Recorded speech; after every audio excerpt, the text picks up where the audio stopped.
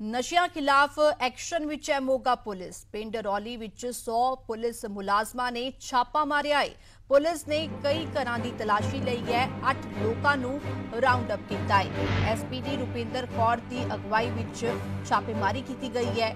ਕੁਝ ਮਹੀਨੇ ਪਹਿਲਾਂ ਹੀ ਪਿੰਡ ਰੌਲੀ ਵਿੱਚ ਦੋ ਨੌਜਵਾਨਾਂ ਦੀ ਨਸ਼ਿਆਂ ਕਾਰਨ ਮੌਤ ਹੋਈ ਸੀ।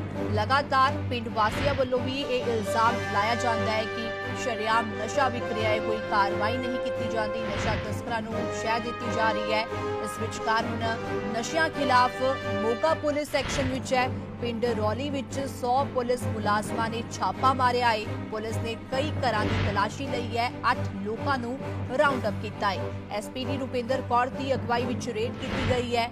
ਦੱਸਦੇ ਕਿ ਕੁਝ ਮਹੀਨੇ ਪਹਿਲਾਂ ਹੀ ਪਿੰਡ ਰੌਲੀ ਵਿੱਚ ਦੋ ਨੌਜਵਾਨਾਂ ਦੀ ਨਸ਼ੇ ਕਾਰਨ ਮੌਤ ਹੋਈ ਸੀ, ਜਿਸ ਤੋਂ ਬਾਅਦ ਲਗਾਤਾਰ ਪਿੰਡ ਵਾਸੀਆਂ ਵੱਲੋਂ ਸ਼ਰਿਆਮ ਵਿਕ ਰਹੇ ਨਸ਼ੇ ਨੂੰ ਲੈ ਕੇ ਰੋਸ ਵੀ ਜ਼ਾਹਿਰ ਕੀਤਾ ਗਿਆ ਸੀਗਾ ਤੇ ਦੱਸ ਦਈਏ ਕਿ ਹੁਣ ਮੋਗਾ ਪੁਲਿਸ ਨਸ਼ਿਆਂ ਖਿਲਾਫ ਐਕਸ਼ਨ ਵਿੱਚ ਨਜ਼ਰ ਆ ਰਹੀ ਹੈ। ਤਸਵੀਰਾਂ ਤੁਸੀਂ ਦੇਖ ਸਕਦੇ ਹੋ। ਪਿੰਡ ਰੌਲੀ ਦੀਆਂ ਇਹ ਤਸਵੀਰਾਂ ਨੇ ਜਿੱਥੇ 100 ਪੁਲਿਸ ਮੁਲਾਜ਼ਮਾਂ ਨੇ ਛਾਪਾ ਮਾਰਿਆ ਹੈ। ਪੁਲਿਸ ਨੇ ਕਈ ਘਰਾਂ ਦੀ ਤਲਾਸ਼ੀ ਲਈ ਹੈ। 8 ਲੋਕਾਂ ਨੂੰ ਰਾਉਂਡ ਅਪ ਕੀਤਾ ਹੈ। ਐਸਪੀਜੀ ਰੁਪਿੰਦਰ ਕੌਰ ਦੀ ਅਗਵਾਈ ਵਿੱਚ ਛਾਪੇਮਾਰੀ ਕੀਤੀ ਗਈ ਹੈ। ਦੱਸਦੇ ਕਿ ਕੁਝ ਮਹੀਨੇ ਪਹਿਲਾਂ ਹੀ ਪਿੰਡ ਰੌਲੀ ਵਿੱਚ ਦੋ ਨੌਜਵਾਨਾਂ ਦੀ ਨਸ਼ਿਆਂ ਕਾਰਨ ਮੌਤ ਹੋਈ ਸੀ।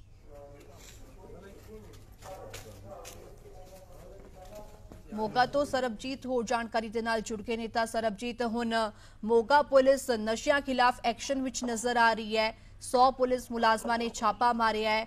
8 ਲੋਕਾਂ ਨੂੰ ਰਾਉਂਡ ਅਪ ਕੀਤਾ ਗਿਆ। ਸ਼ੁਰੂ ਤੋਂ ਹੀ ਪਿੰਡ ਵਾਸੀਆਂ ਵੱਲੋਂ ਇਹ ਇਲਜ਼ਾਮ ਲਗਾਇਆ ਜਾਂਦਾ ਸੀਗਾ ਕਿ ਸ਼ਰੇਆਮ ਨਸ਼ਾ ਵਿਕ ਰਿਹਾ ਕੋਈ ਕਾਰਵਾਈ ਨਹੀਂ ਹੁੰਦੀ ਤੇ ਹੁਣ ਐਕਸ਼ਨ ਵਿੱਚ ਪੁਲਿਸ ਨਜ਼ਰ ਆ ਰਹੀ ਹੈ।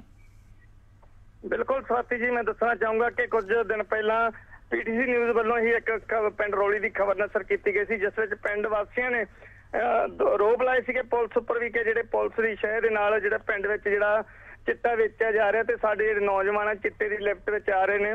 ਤੇ ਇਸ ਖਬਰ ਤੋਂ ਬਾਅਦ ਮਾਨਯੋਗ ਐਸਐਸਪੀ ਮੋਗਾ ਵੱਲੋਂ ਜਿਹੜਾ ਸਖਤੀ ਨਾਲ ਪੇਸ਼ ਆਉਂਦਿਆਂ ਜਿਹੜੀਆਂ ਵੱਖ-ਵੱਖ ਟੀਮਾਂ ਤਿਆਰ ਕੀਤੀਆਂ ਗਈਆਂ ਇੱਕ SPD DSP D Rupinder Kaur ਦੀ ਅਗਵਾਈ ਦੇ ਵਿੱਚ ਇੱਕ ਵਿਸ਼ੇਸ਼ ਟੀਮ ਤਿਆਰ ਕੀਤੀ ਗਈ, ਜਿਸ ਵਿੱਚ 100 ਸਵਾ 100 ਦੇ ਕਰੀਬ ਜਿਹੜੇ ਪੁਲਿਸ ਮੁਲਾਜ਼ਮ, ਜਿਨ੍ਹਾਂ ਵੱਲੋਂ ਅੱਜ ਪਿੰਡ ਰੌਲੀ ਦੇ ਵਿੱਚ ਜਿਹੜੀ ਤੜਕਸਾਰ ਜਿਹੜੀ ਘਰ ਘਰ ਜਾ ਕੇ ਛਾਪੇਮਾਰੀ ਕੀਤੀ ਗਈ, ਜਿਸ ਦਰਮਿਆਨ 4 ਤੋਂ 5 ਜਿਹੜੇ ਵਿਅਕਤੀਆਂ ਨੂੰ ਵੀ ਹਿਰਾਸਤ ਵਿੱਚ ਲਿਆ ਗਿਆ। ਜੀ। ਬਿਲਕੁਲ ਤਾਂ ਐਕਸ਼ਨ ਵਿੱਚ ਮੋਗਾ ਪੁਲਿਸ ਹੁਣ ਨਜ਼ਰ ਆ ਰਹੀ ਹੈ ਤੇ ਫਿਲਹਾਲ ਛਾਪੇਮਾਰੀ ਅੱਜ ਕੀਤੀ ਗਈ ਹੈ, ਛਾਪਾ ਮਾਰਿਆ ਗਿਆ ਤੇ ਕਈ ਲੋਕਾਂ ਨੂੰ ਰਾਉਂਡ ਅਪ ਕੀਤਾ ਗਿਆ ਕਿ ਹੁਣ ਕਿਸ ਤਰ੍ਹਾਂ ਦੇ ਨਾਲ ਪੁਲਿਸ ਕਾਰਵਾਈ ਕਰੇਗੀ, ਇਸ ਤੇ ਨਜ਼ਰ ਰਹੇਗੀ ਸ਼ੁਕਰੀਆ, ਗੱਲਬਾਤ ਲਈ।